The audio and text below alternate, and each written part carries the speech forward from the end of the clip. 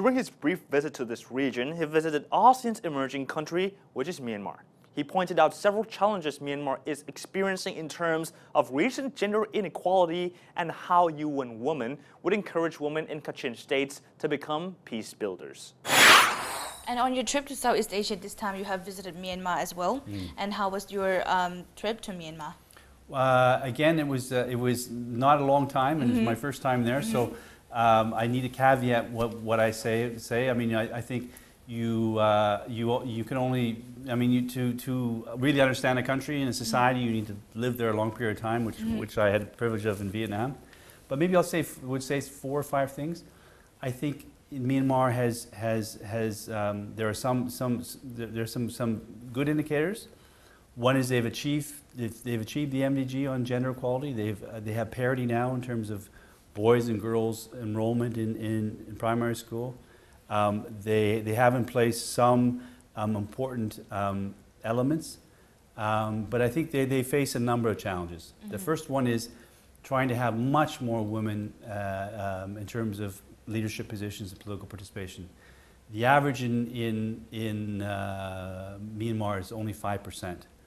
So they have a very famous leader of the opposition who's mm -hmm. a mm-hmm. woman. They have a very, they have a, a strong uh, head of the National Assembly, the chair, uh, uh so uh, uh, not, not National Assembly, sort of strong head of the opposition. Um, but they need to really look at much, much greater levels of, of, of women parliamentarians. they have one woman in cabinet who's the Minister of Social Affairs and Women's Gender Issues and also Disaster Risk Reduction. She's got a huge portfolio. I hope that soon they can have many more mm -hmm. than one. But they really need to, to, to focus on getting much more women in, in, in leadership positions. I think secondly, they, they, they have uh, an increasing uh, uh, incidence of HIV. I think second to Thailand in, in, in, in the region. And so it's really important that they look at that and, and a large number of uh, new cases are, are, are women and they need to look at the, the, the critical uh, a group of, of women and girls. I think also there, there is an, an, an issue of, um, um, in terms of the MDGs, they still have a very high rate of maternal mortality, mm -hmm. like many countries, but they really need, need, to focus on that. And I think there's not a lot of statistics. There's not a lot of, people don't know enough about what, what the real situation is. Mm -hmm. So as UN Women, what, we what, what we'll be doing is we'll be working with our partners in the UN, UNFPA and others, to do, uh, we're doing an assessment of, of, the situation of women and, and girls in, in, Myanmar right now. We're also, we will also soon be helping them uh, with, with all of their laws. You know, they're in quite a transition and mm -hmm. some of mm-hmm. their laws are from, you know, what, long time ago, mm -hmm. pre-colonial times even. So we'll be working with them to make sure that the laws that they have are in conformity with CEDAW, which is the Convention for the Elimination of, of, the, of Discrimination Against Women.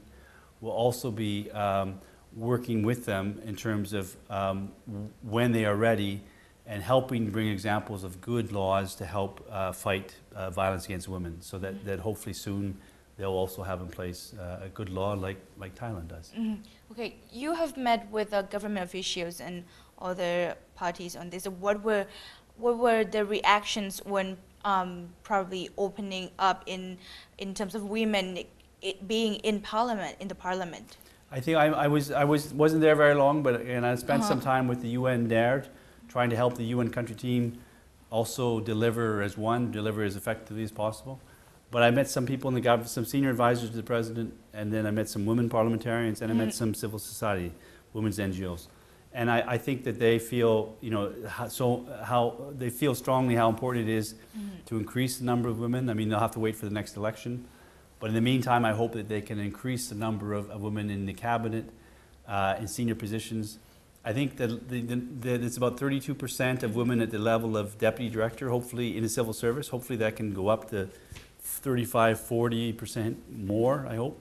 So, so I, I think that, that they feel very much that this is, you know, it's a chance to mobilize. Um, I mean, people are excited about the transition and, and, what's happening, but I think most people you speak to, everybody says, you know, the transition's, you know, it, there's a new opportunity. However, what's really important is what happens on, on the ground, mm -hmm. and that there's not much change yet. And so we need to see the, the situation on the ground in Myanmar uh, improve, and particularly for women and girls.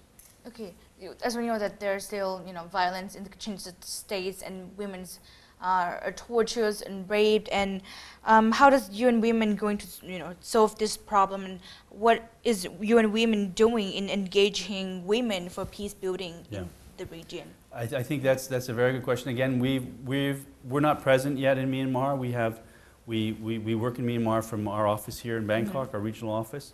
Um, we'll soon be putting in a senior UN official to be advising the resident coordinator and the country team on, on gender equality uh, issues. Um, you know, it's, it's, it'll be up to the, to the parties concerned to, to uh, move beyond ceasefire to sustainable peace. So that's the government and the various, the various uh, ethnic groups and, and, that, and that discussion.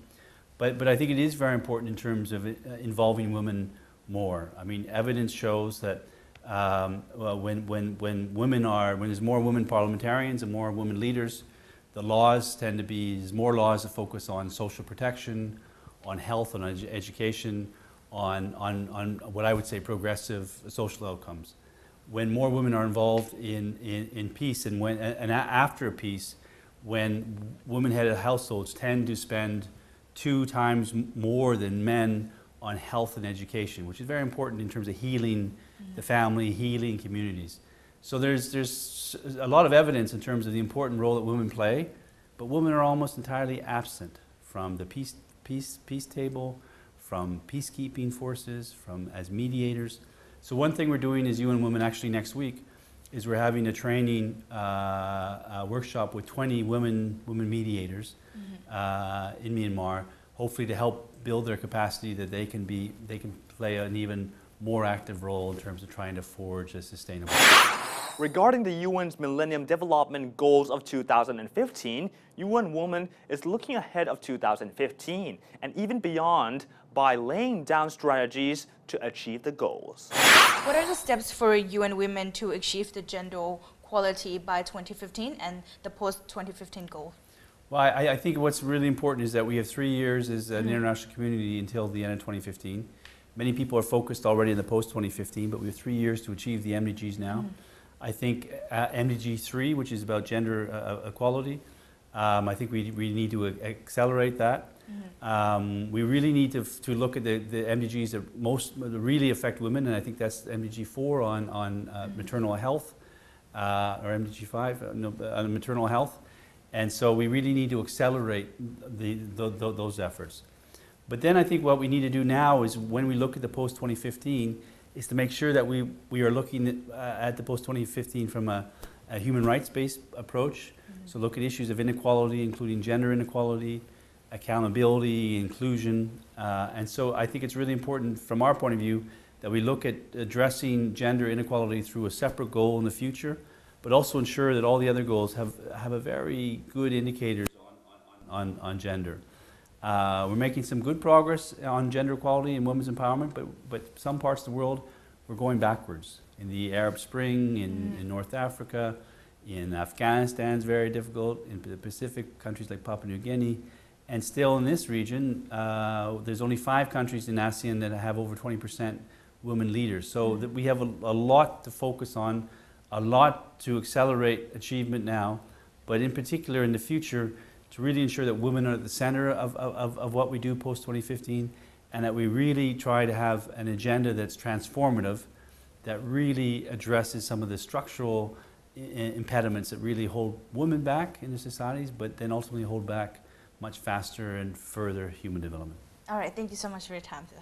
Thank you Thank very you. much. Ti- Thank you very much, and thank you for this opportunity. All right. And that's all the time today for Towards 2015. You can watch us again every weekday from 3:30 to 4 p.m. on the Nation channel. For today, thank you for watching us. See you next time. สวัสดีครับ